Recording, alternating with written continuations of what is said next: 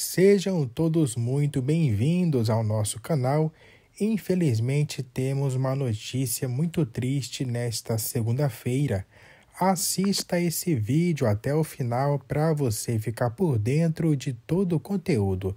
Mas antes eu peço que deixe o like, se inscreva no canal e vamos agora para a primeira notícia. Tenho certeza que vocês conhecem o ator Matheus Nartegali. Ele tem tido a oportunidade rara de participar do maior espetáculo do Brasil. É como o ator bissexto em novelas define as tramas do horário nobre da Rede Globo. A atração da vez é Renascer, em que ele deu vida a Noberto, o artista havia falado das pausas nas gravações que começaram, né? E que terminou em setembro, né? A duração das novelas é o principal motivo pelo qual eu faço poucas. Revela Matheus Nartegali que decidiu descansar carregando pedra após um longo período dedicado ao cinema e ao teatro. Ele não era visto no formato há 11 anos, quando fez Saramandaia em 2013.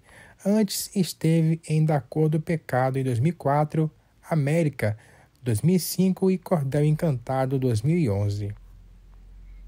No ar, né? Desde janeiro em Renascer, é, que teve 197 capítulos aproximadamente, sim, é algo assustador, mas há que se pensar também pelo outro lado. São quase 200 capítulos de interação intensa com o Brasil, com o Brasil com um todo, ressalta né, o veterano.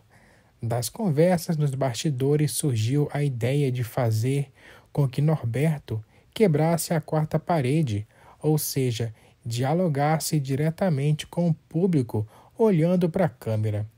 O recurso tem roubado a cena e divertido a audiência desde o início. Os telespectadores, freguesia de todas as noites, são a melhor companhia para aquele típico dono de bar, segundo o ator.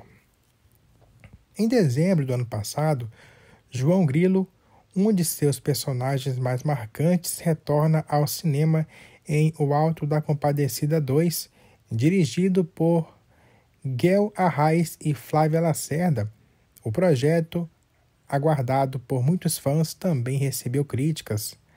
Há o argumento de que Ariano Sussasuna, o autor da peça original que deu origem ao filme, não tem escrito uma continuação. É uma grande homenagem ao Ariano que sabia da existência do projeto e o apoiava. Defende Mateus ele celebra a chance de reviver o papel 25 anos depois. Estou muito feliz por ter podido experimentar no meu corpo mais envelhecido, mais experiente, mas talvez não mais sábio, não sei, diz. Foi a oportunidade de trabalhar de novo com o meu melhor palhaço. Mateus, né, eu sempre tenho desejo de cinema e sempre tenho desejo de teatro. Em Renascer, tenho uma oportunidade rara de participar de uma novela das nove, que é o maior espetáculo do Brasil. Desde sempre e por muito tempo ainda, a novela é considerada o maior texto de Benedito Rui Barbosa, autor da primeira versão exibida em 93. Com direção artística de Gustavo Fernandes que é um homem oriundo do cinema e que pilota uma equipe de diretores e diretoras altamente artísticas. Quebrar a quarta parede é procedimento do cinema, mas é um recurso extremamente teatral. Os procedimentos cinematográficos são muito comuns em Renascer, e isso faz todo sentido. Primeiro, porque a novela há muito tempo vem competindo com os streams, com o cinema norte-americano, e ela precisou se reinventar esteticamente. Segundo, porque de qualquer maneira a maior parte do povo brasileiro só tem acesso ao cinema através da TV aberta e a novela é uma dessas janelas. E terceiro, porque depois da pandemia, a relação do público no mundo todo com o cinema está modificada. Renascer é tão cinematográfica que até pessoas que já não viam mais novelas, fãs de cinema, amigos meus assistem. Assistem para ver qual será cada capítulo, a nova invenção, a nova beleza que Renascer pôde oferecer. Eu estou muito feliz. Pois é, gente, vocês assistiram a novela Renascer? Deixa aí nos comentários. E se vocês gostam bastante do ator Matheus Narchegali e acompanham a sua carreira desde o começo daquele filme O Alto da Compadecida, deixe no comentário uma nota de 0 a 10. Vamos agora para a última notícia que é muito triste. O ator de artes marciais de Hong Kong, Norman Shui, faleceu de câncer de estômago em Pequim aos 74 anos e sua esposa, de 30 anos mais nova, também morreu de ataque cardíaco após organizar seu funeral. Em 15 de setembro, Tim Kai-man, porta-voz da Associação de Trabalhadores do Cinema de Hong Kong, confirmou a morte de Shui e sua esposa de acordo com o Oriental Daily. Disseram-me que ele morreu de câncer de esôfago ele não contou a ninguém que tinha esse problema e a maioria de seus amigos em Hong Kong não sabia sobre isso. Não sabemos por quanto tempo ele sofreu com isso, disse Tim, citando né, pelo South China Mug Post.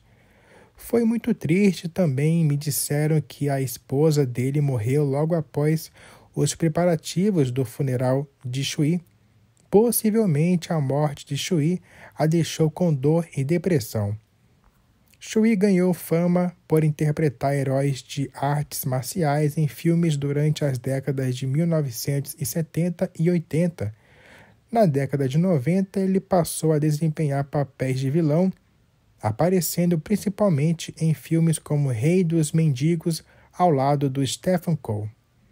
Durante esse período, ele mudou o foco de sua carreira para o mercado da China continental, onde permaneceu por grande parte do tempo, raramente se apresentando em Hong Kong ou participando de produções locais.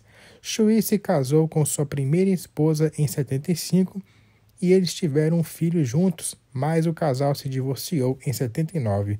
No ano seguinte, ele se casou novamente, mas esse casamento também terminou depois que ele teve um caso em 2004, Shui se casou com sua última esposa, uma dançarina da China continental com quem teve uma filha e um filho. Que Deus conforte o coração de todos e que descansem em paz. Sejam todos